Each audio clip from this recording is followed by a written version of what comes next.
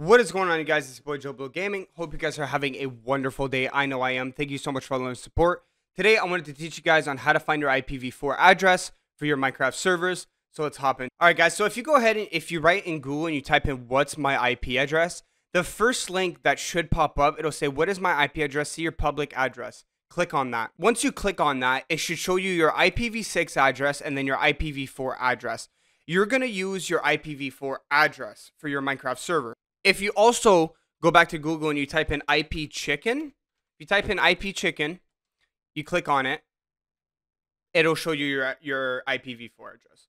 So that is pretty much how you do it, guys. It's really simple. Um, personally, either one works fine. IP chicken is just quicker. I would just type in IP chicken and it'll tell you your IPv4. Or you could just again, what's my IP, and then click on the first link, and then it'll show you your IPv4. Just make sure you're using your IPv4 address.